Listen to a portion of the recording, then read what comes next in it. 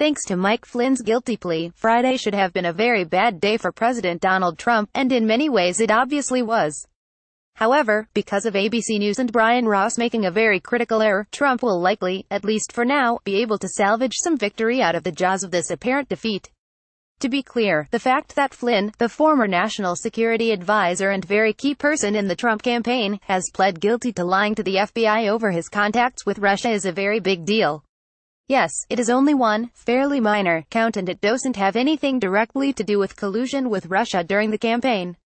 But getting someone like Flynn to plead to any serious crime this quickly indicates that special counsel Robert Mueller must have a lot more dirt on him, and there is an obvious implication that for Flynn to get what looks like a sweetheart deal, that he must have given Mueller a heck of a lot in return.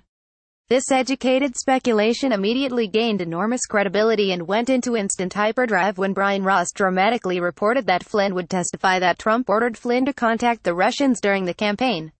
If true, this was a real bombshell that instantly destroys the entire current White House narrative on Russia, one which would almost certainly set the stage for Trump's eventual impeachment and possible removal from office.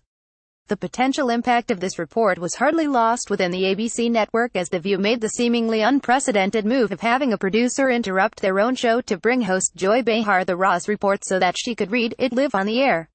The reaction of her and most of her audience was more enthusiastic than if they had all received news that they had been invited to Prince Harry's royal wedding.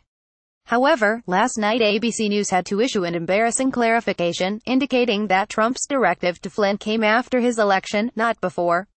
This is roughly akin to finding out that your spouse's romantic relationship with another person started before you began dating them, as opposed to after. That's obviously a huge freaking difference.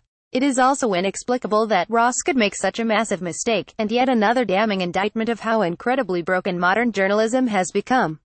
Since expectations dictate nearly everything in life, this debacle was a pure gift to Trump. The events of yesterday, while still potentially incredibly important and ominous for the president, now seem rather diminished and maybe not that significant at all. On top of that, since Trump has been constantly calling this story fake news an absurd concept which even some of those on his favorite cable TV network rightly pushed back on yesterday, ABC's botched report plays right into the president's attempt to sell that canard to his cult. The conservative media has been, understandably, jumping all over ABC's mistake, and you can be sure that the chances of Trump's base ever accepting his potential guilt in this matter, which were already very low, have now just reached the Cleveland Browns make the NFL playoffs proportions. From a purely legal perspective, ABC's correction obviously doesn't mean that Trump is out of the woods, but it does raise real doubt about what Mueller really has.